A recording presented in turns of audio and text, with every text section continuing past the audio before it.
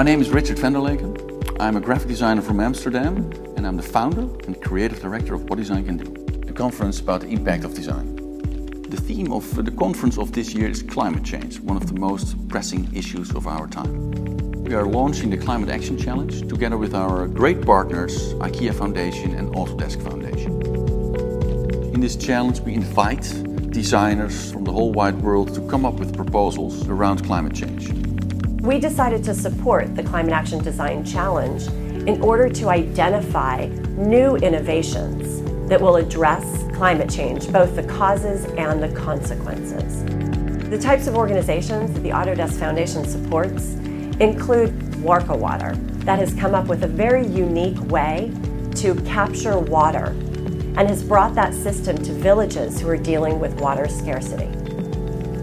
One organization that is here at What Design Can Do is Nubian Vault that has taken a traditional home building approach and works within the local communities to train them on that approach. Another example is Flotility, and Flotility has come up with an electric scooter. We're focusing on short distance transportation in city centers. We are hoping to achieve a change with people's mind how they travel on short distances and give them a very convenient and safe way to get around without using gasoline cars. The Climate Action Challenge is open for professionals, students and startups and we would like to urge you to participate because it's important and we should act now.